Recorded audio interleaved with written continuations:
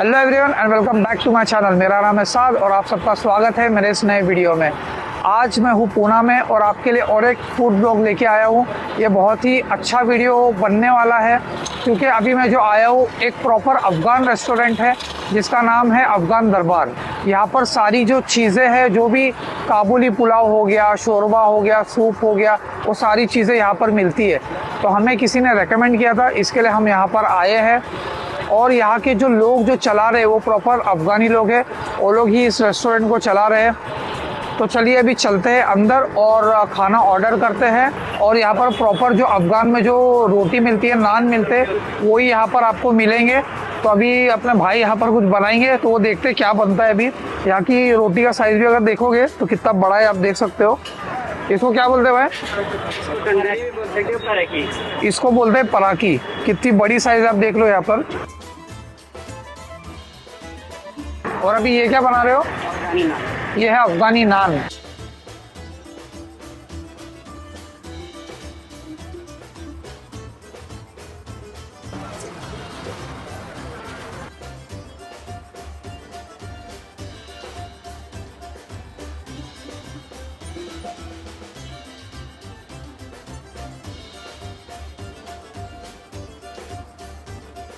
यहाँ पर आप देख सकते हो ये तंदूर आइटम बन रहा है अभी, एक चिकन बन रहा है, और ये भी चिकन है। ये अल्फाम है ना? अल्फाम अल्फाम चिकन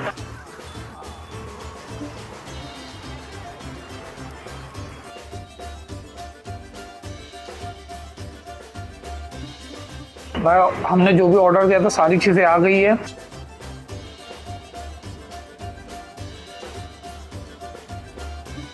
सबसे पहले ये सूप सूप की क्वांटिटी भी अच्छी है। ये आप देख सकते हो। और ये मटन के पीसेस भी अच्छे डाले गए इसमें। इसको ये लोग बोलते हैं यखनी हम लोग सूप बोलते हैं, इसको ये लोग बोलते हैं यखनी चलिए टेस्ट करके देखते हैं। इसमें कोरिएंडर दिख रहा है, मटन है अच्छा खासा मटन है।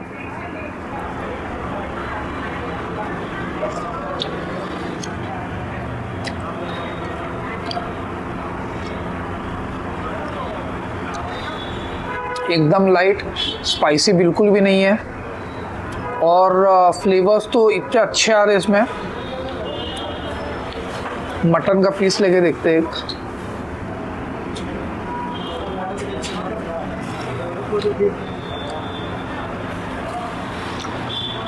बहुत सॉफ्ट है, बहुत सॉफ्ट है मटन का पीस भी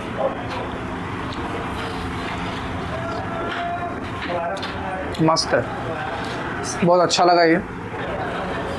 नेक्स्ट ये हमने मंगाया चाप। चाप के साथ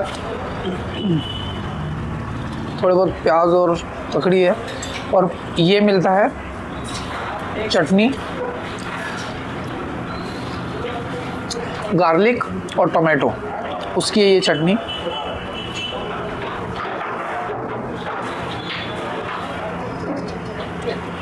इतना अच्छे से मटन गल चुका है ना।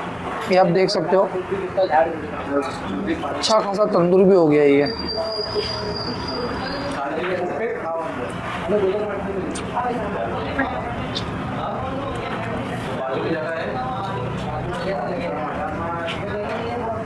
बहुत ही मस्त टेस्ट आ रही है चटनी के साथ। हम्म। हम्म। ये आप देख सकते हो।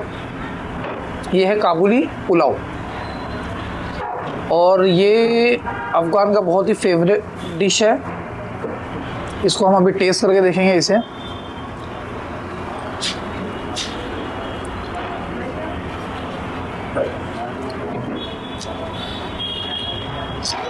राइस भी काफ़ी सॉफ्ट है। इसमें गाजर है और आप देख सकते हो यहाँ पर बिरिस्ता भी है। उससे काफ़ी है ना स्वीट हो गया ये राइस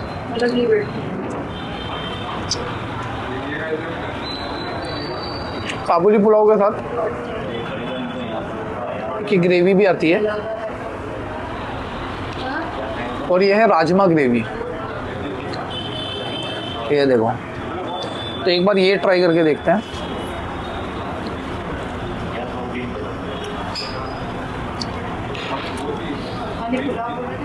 राजमा की ग्रेवी थोड़ी मैगी मसाला आता है ना, वैसा थोड़ा टेस्ट कर रही है ये।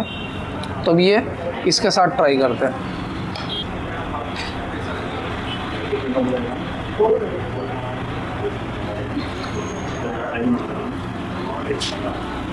इसके साथ खाएँगे तो स्वीटनेस थोड़ा हट जाता है। अगर ऐसे ही खाएँगे तो स्वीट लगता है। तो ये भी अच्छा है। टेस्ट अच्छा है। और ये है फाइनल डिश ये हमने मंगाई है चिकन मंदी तो आप देख सकते हो यहाँ पर, ये चटनी मैंने आपको पहले दिखाई थी गार्लिक और टमाटो की चटनी है। और ये है मेयो। थोड़ा अलग है। और ये एक चिकन का पीस आता है इसमें। और इतनी सारी राइस।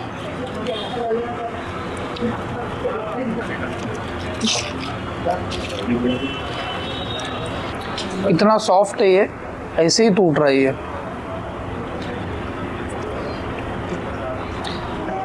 ये देखो। आप देख सकते हो कितना सॉफ्ट है चिकन। अब ये राइस के साथ लेते हैं।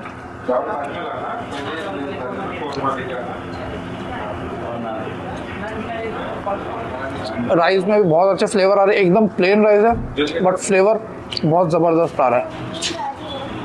चिकन भी एकदम माइल्ड है स्पाइसी बिल्कुल नहीं है। सारे बच्चे हो गए, जो भी होगा, सब लोग खा सकते हैं आराम से। मेयो के साथ। मेयो भी थोड़ा अलग है। काली का टेस्ट बहुत ज़्यादा आ रहा है इसमें। और ये टोमेटो की जो चटनी है, बहुत स्पाइसी है।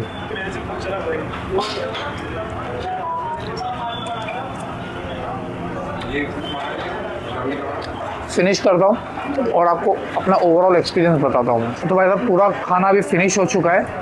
आप देख सकते हो यहाँ पर सारी चीज़ें ख़त्म। सबसे पहले सूप जो हमने पिया था, बहुत टेस्टी था। अगर आप यहाँ पर आते हो तो ज़रूर ट्राई करना। बहुत अच्छा सूप था बहुत मज़ा आ गई पी के और मुझे यहाँ की मंदी बहुत अच्छी लगी। क्योंकि जो राइस में जो फ्लेवर आ रहा था ना अच्छा गरम मसाले का जो भी फ्लेवर था, बहुत बहुत अच्छा आ रहा था। तो first is soup second is mandi, बहुत टेस्टी था। If you want to try Kabuli तो आप ट्राई कर सकते हो। थोड़ा स्वीट हो जाता है काबुली बट वो ग्रेवी राजमा की जो ग्रेवी आती है, उससे थोड़ा सेटल हो जाता है। बट ये जो दो आइटम थे, मुझे बहुत अच्छे लगे। तो चलिए डिनर तो बहुत अच्छा हो गया। मिलता है फिर किसी ऐसी नेक्स्ट वीडियो में। तब तक के लिए बाय बाय टेक केयर